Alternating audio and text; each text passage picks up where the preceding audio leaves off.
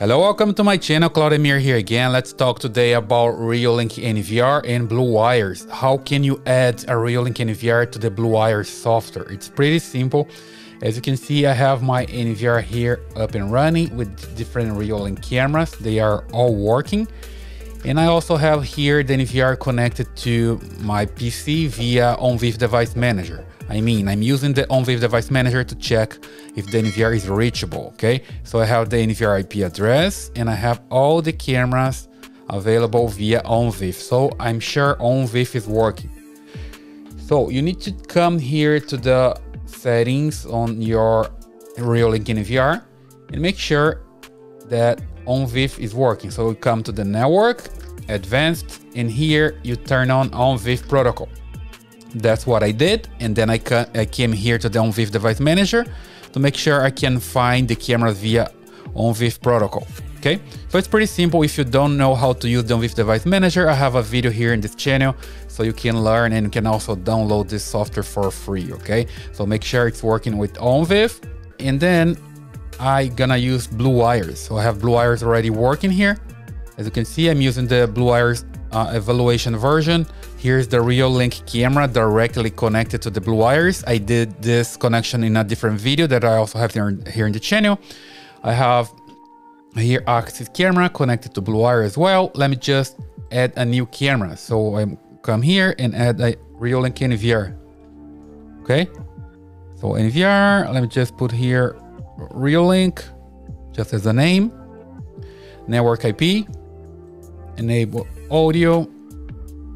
Oh, the, the name must be unique. I already have a Link there. So let me just put here Reolink 1.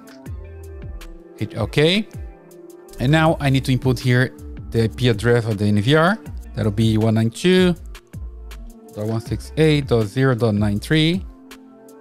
Username and password. Okay, and the trick here now is to look for Reolink Here we go with Reolink and choose H264 RTSP. Okay, I'm not, I'm not using OnVIF here, using RTSP. So in here, you're gonna select the channel that you want. Let's say channel number three, for example. And that's it. You're selecting basically the channel that you wanna pull from the NVR. You hit okay and okay again wait for it to connect. And here you go. I have the channel 3 on the NVR working here on my Blue Iris. Okay, so you can just select different channels if you want to. As you can see here, I'm getting this video stream. You can come back to video, configure, and select a different channel if you want to. Okay, let's try here. Let's see here on my NVR what else I have. I have I believe I have six channel. As you can see, I have a Hikvision camera also working here on the NVR. Let's try channel number six, okay? See if it works.